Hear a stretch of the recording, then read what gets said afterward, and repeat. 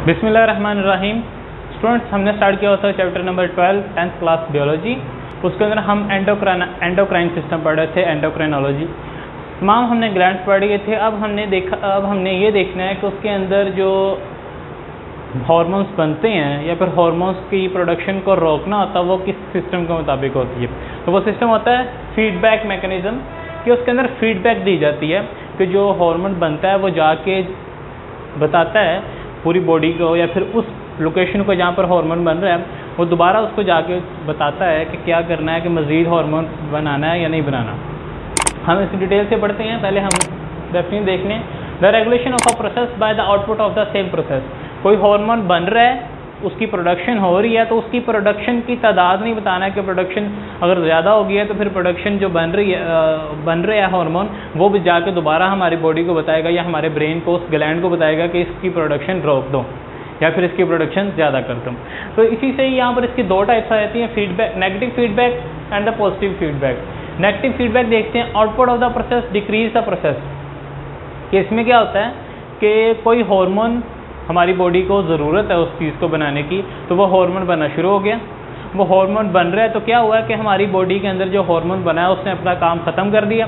जैसे ही हमारी बॉडी के अंदर हार्मोन बना और उसने अपना काम ख़त्म कर लिया तो वो काम ख़त्म करने के बाद, वो हार्मोन की प्रोडक्शन होने के बाद वो हार्मोन खुद ही जाके उसी ग्लैंड को मैसेज देगा कि मेरी जो प्रोडक्शन वो ख़त्म कर दो क्योंकि मेरा काम ख़त्म हो गया।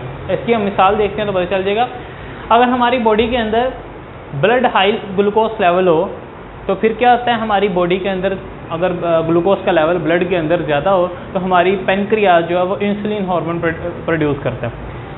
इंसुलिन प्रोडक्शन होती है। इंसुलिन क्या करता है, हमारे ब्लड के अंदर जाके लोअर द ग्लूकोज लेवल हमारे ग्लूकोज को ग्लूकोज को किसमें स्टोर कर देता है? लीवर में।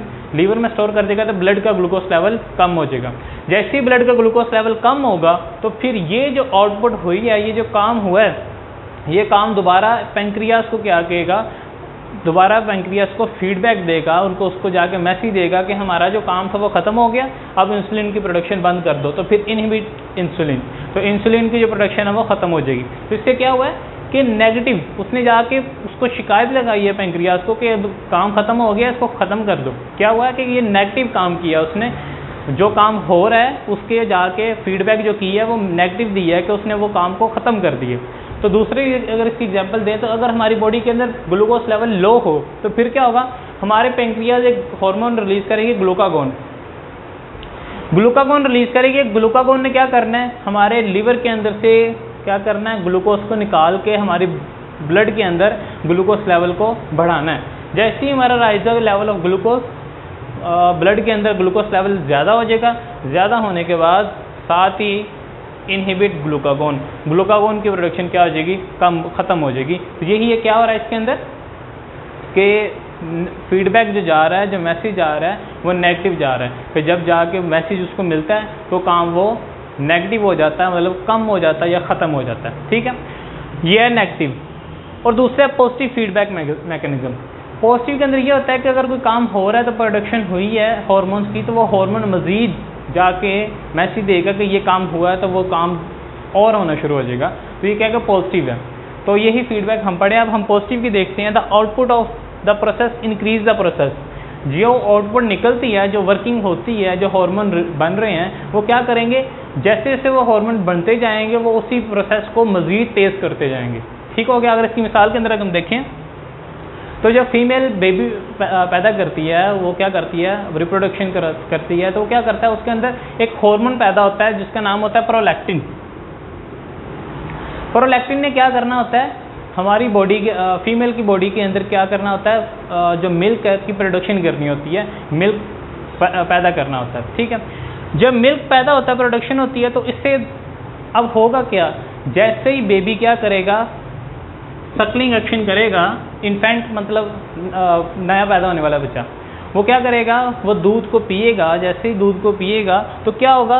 वो उसकी सकिंग करने से वो हार्मोन मज़ीद पैदा होगा। जब वो सकिंग करेगा तो वो दोबारा प्रोडक्शन उसकी मज़ीद होना शुरू हो जाएगी। जब वो सकिंग करेगा तो हार्मोन की प्रोडक्शन होगी। जब हार्मोन की प्रोडक्शन होगी तो वो दोबारा मिल्क की प्रोडक्शन करेगा। मिल्क की प्रोडक्शन होगी तो दोबारा सकिंग होगी। वो दोबारा बच्चा क्या करेगा? दूध पिएगा। तो जैसे जैसे वो दूध पीता जाएगा तो प्रोडक्शन उसकी हार्मोन की होती जाएगी प्रोलैक्टिन की। जैसे जैसे हार्मोन की प्रोडक्शन होती जाएगी प्रोलैक्टिन की, वैसे वैसे दूध भी बनता जाएगा, वैसे वैसे बच्चा पीता जाएगा। तो ये क्या है कि पॉजिटिव फीडबैक मैकेनिज्म हो रहा है।